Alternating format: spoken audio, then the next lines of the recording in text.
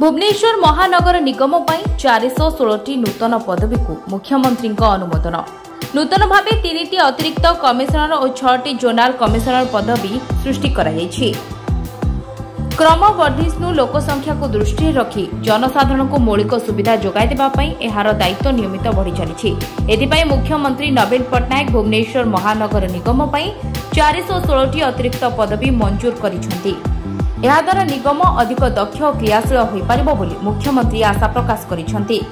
ସୂଚନା ଅନୁସାରେ ପୂର୍ବରୁ ବିଏମ୍ସିରେ ଦୁଇଶହ ଦଶଟି ଅନୁମୋଦିତ ପଦବୀ ଥିବାବେଳେ ଏହା ଅତିରିକ୍ତ ଚାରିଶହ ଷୋହଳଟି ପଦବୀ ସୃଷ୍ଟି ଦ୍ୱାରା ଏହାର ସମୁଦାୟ ପଦବୀ ସଂଖ୍ୟା ଛଅଶହ ଛବିଶକୁ ବୃଦ୍ଧି ପାଇବ।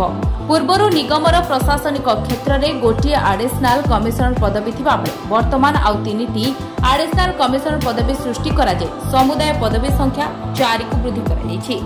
Bureau report Dinalipi live.